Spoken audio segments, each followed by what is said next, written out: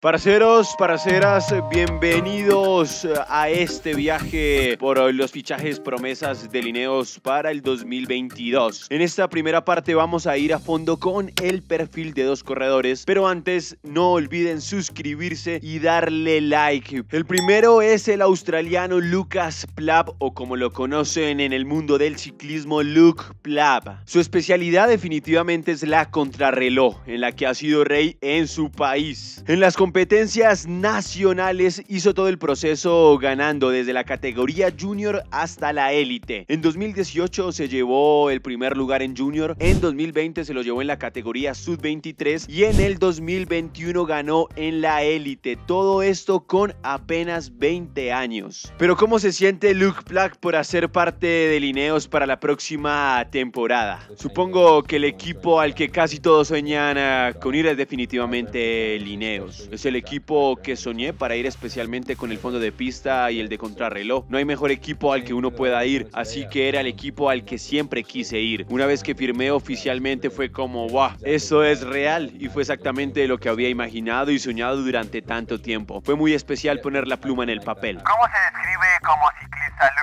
Desearía tener una base más europea para saber cómo estaba en la montaña, adoquines, clásicas o cualquier cosa que no haya hecho allí. Pero basado en lo que no sé ahora, me encanta el tipo de ascensos medios con aproximadamente unos 20 minutos de duración y luego también las cronos, así que supongo que un poco de todo terreno en este momento. Pero creo que de eso se tratará el primer año, una especie de encontrar mis pies y descubrir qué tipo de papel puedo desempeñar en el equipo. Y no olviden lo siguiente, este año este corredor australiano de 20 años hizo parte del equipo de pista de Australia que se quedó con esa medalla de bronce en la modalidad de persecución por equipos en los Juegos Olímpicos de Tokio 2020, en la que Italia fue el gran campeón con Filippo Gana a la cabeza. El segundo y último corredor es Ben Tulet, el joven británico de 20 años quien llega procedente del equipo Pro Team Revelación en este 2021, el Alpecin Phoenix. De él podemos decir que es el hombre perfecto con perfil para las clásicas ardeneras y para esto les voto un dato bueno y es que en el 2020 se convirtió en el ciclista más joven con 19 años en acabar la clásica de las Ardenas, la Lieja Basson Lieja, en más de 100 años. Datazo de este ciclista. Además eh, del doble título mundial en junior de ciclocross que tiene en su palmarés.